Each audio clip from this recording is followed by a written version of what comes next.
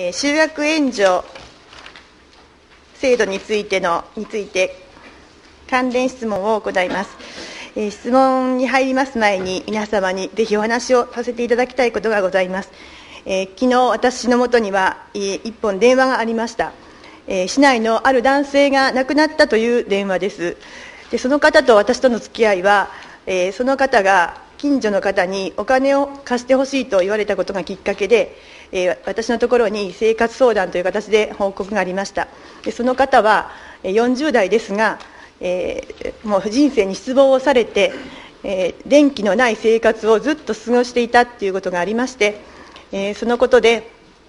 あの生活社会福祉課の皆さんがその方を支えていただいてその方は社会福祉課の皆さんと生活を立て直され、えー近所の皆さんとも連帯をされる中で生きる希望を、えーと取り戻して生活をされていた方です、えー最後のが、えー失望の中で孤立をするのではなくて皆さんとああの仲良くなった中で最後を迎えられたということで私はあの森山市で孤立死でなかったということはほっとしているところです。今も日本全体の中に自殺の者の数とか、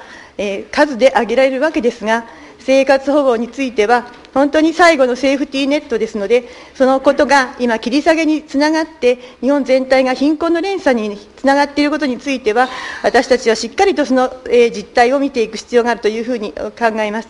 で関わりまして今度の松原慶太郎さん議員の質問に関わって集約援助の問題につきましては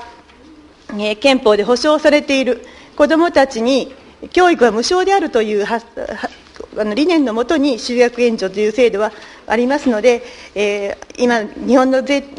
保護者の貧困が子どもたちの学ぶ権利のところまで影響が出ないように、その制度のあの後退がなされないような手立てをぜひ考えていくべきだというふうに考えます。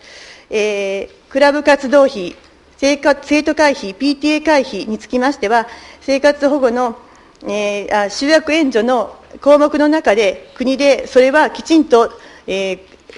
と交付税措置がされるということが認められていますので、ぜひこの点、森山市についても、このクラブ活動費、生徒会費、PTA 会費は、きちんとその援助の項目の中に盛り込むべきではないかというふうに考えます。ぜひ、えー再答弁を行い、お願いします。教育部長。あ筆談。はい、教育部長。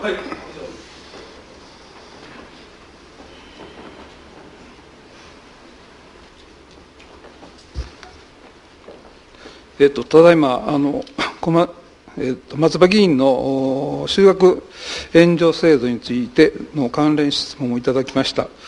えーまあ、内容といたしましては、あ養護準養保護の制度の中で、まあ、クラブ活動費、生徒会費、PTA 会費を、まあ、あの項目の中に、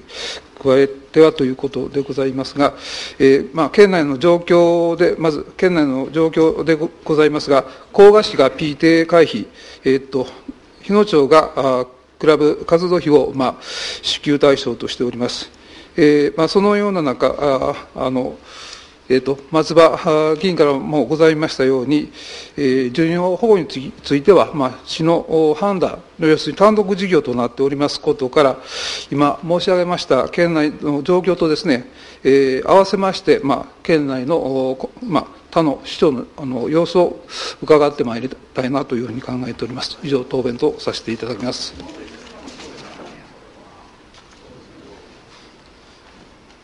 15番、小牧君、よろしいですか？そうそうそう。えっ、と、あのまあ、近隣の市な市長と足並みを揃えてということの答弁だというふうに思いますが、あのこれはもう国が100%措置をしていくというふうなことですので、別にきあの財政負担ということではないですので、事務手続き上の問題ですので、ぜひあの積極的にあの前向きに考えていっていただくことを、ぜひおあの、えー、とお願いをして、えー質問を終わります。